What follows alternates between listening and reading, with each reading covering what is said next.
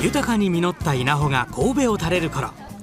黄金色に染まった田んぼの中に足を踏み入れた子どもたちが自分たちで田植えをして育ててきたお米を嬉しそうに楽しそうに生き生きと収穫しています。さああなたも農村へ行ってみませんか？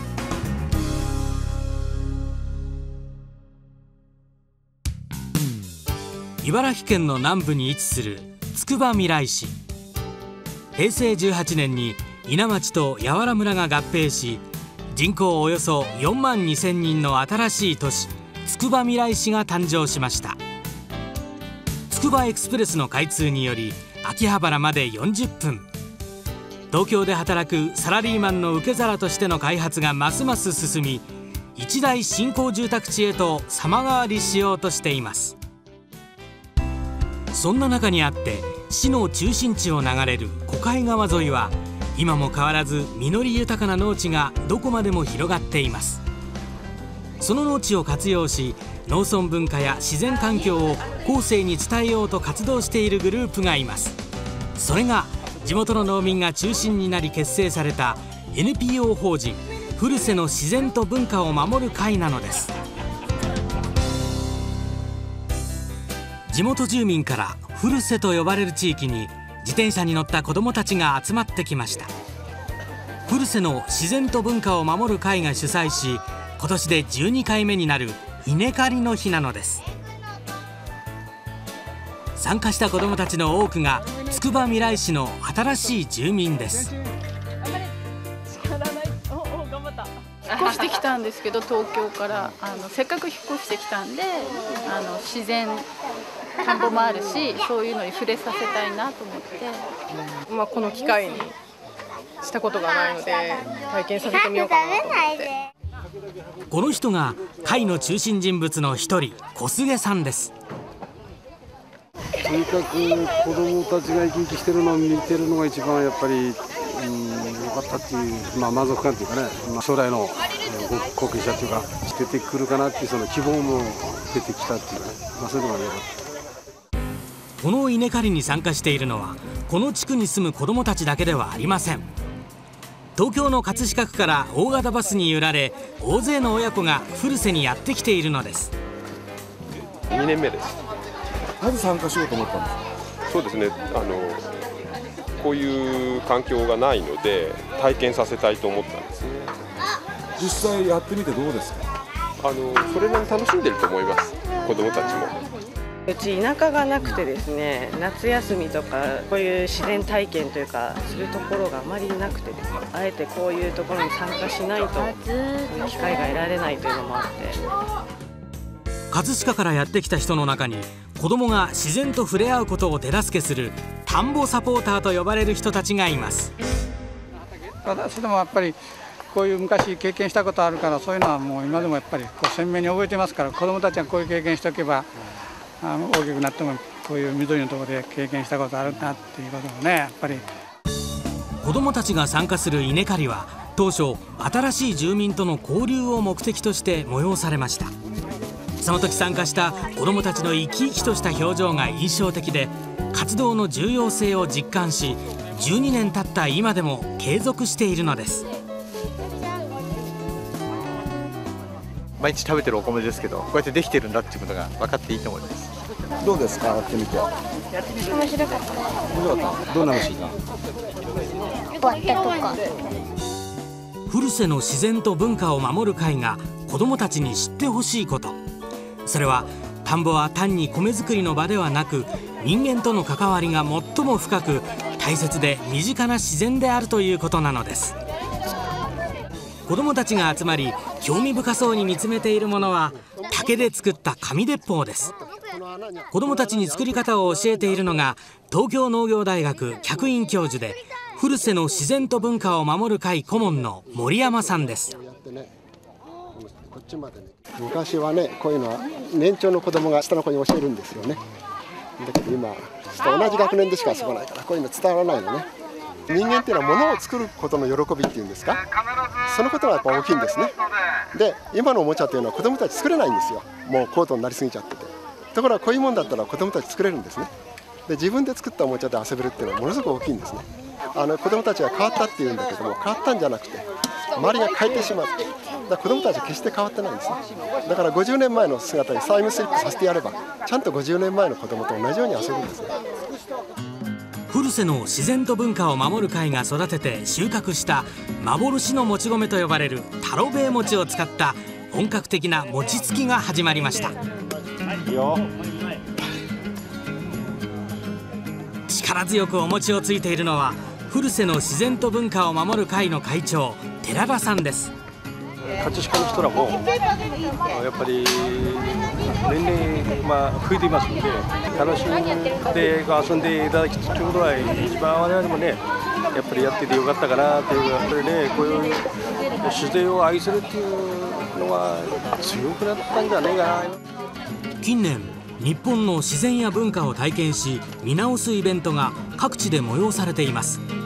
コンピューターで制御された社会で暮らす日々において自然のありがたさや文化の大切さを実感し始めた人が増えその思いが年々強くなっているのかもしれません。美味しい。こういうところで食べる味ってやっぱり違いますか？違いますね。お米も違うと思います。美味しいです。灯籠作りが始まりました。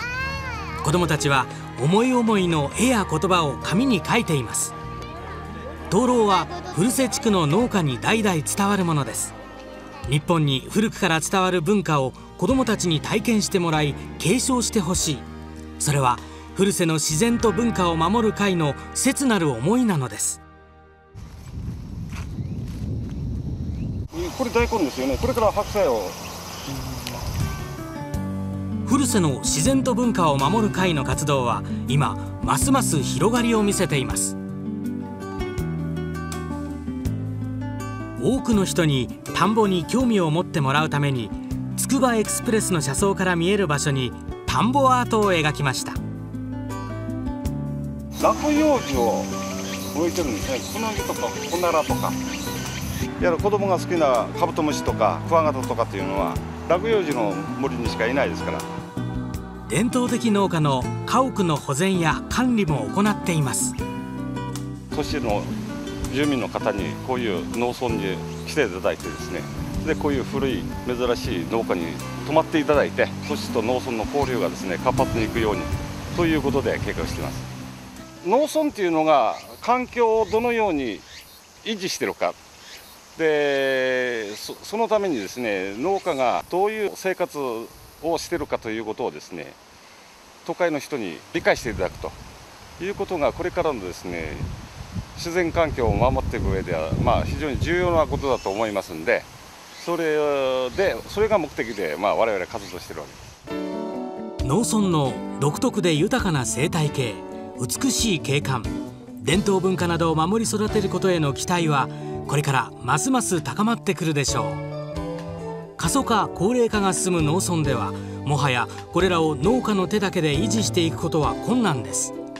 農業農村を農家だけでなく地域全体としてさらには都市住民とも一体となってさまざまな角度から考えていくことが重要なのです。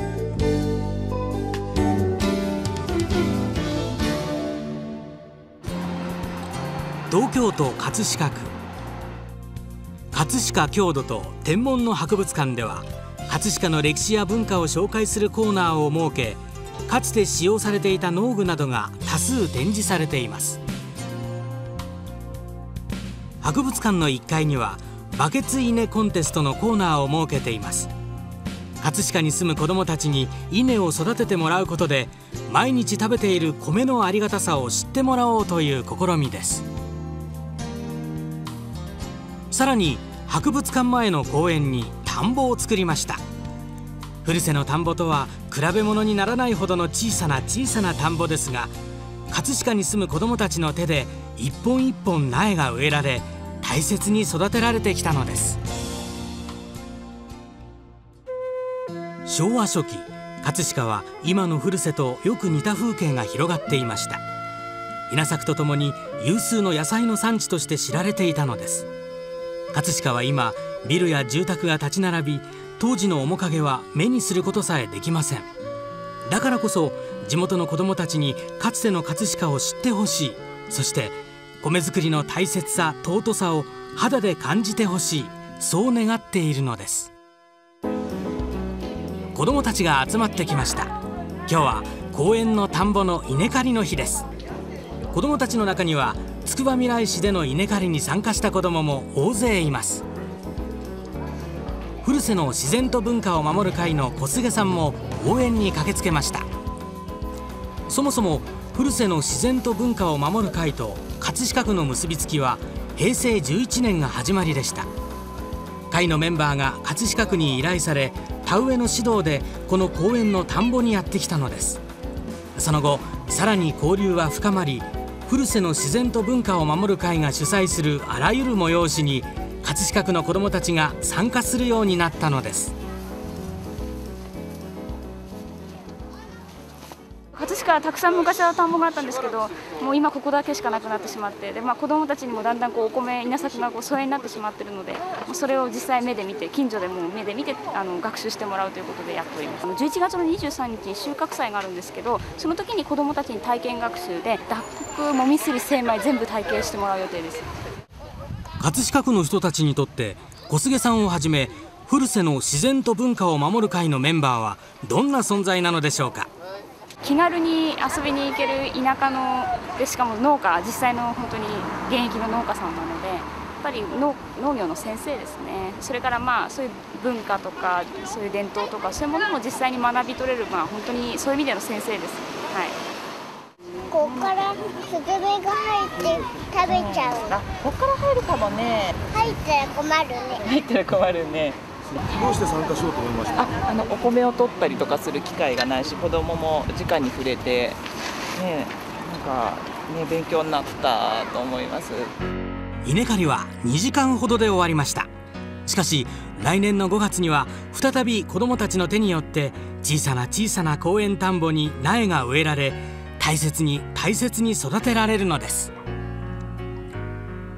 自分たちの目で手で肌で感じる農業自然そして文化。それがいかに重要なのかは子どもたちの生き生きとした表情が答えてくれているようです。古瀬の自然と文化を守る会はその努力と成果が認められ平成18年度地域づくり総務大臣表彰地域振興部門を受賞しました。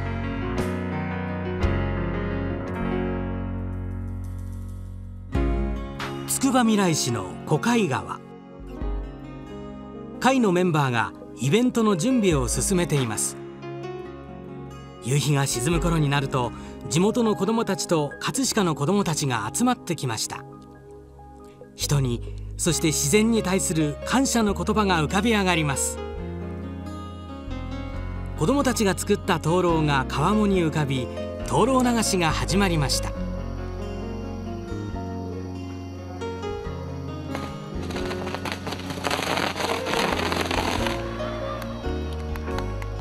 日本にはまだまだ多くの自然と文化が残っています。それを体験し継承することで都市と農村の交流をさらに深いものにする。その目標に向かって古瀬の自然と文化を守る会は今後ますます活動の幅を広げていくことでしょう。